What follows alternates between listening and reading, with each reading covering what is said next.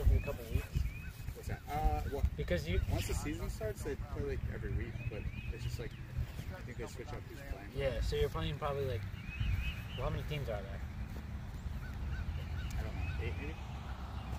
Oh, oh! big moon shot. And another one.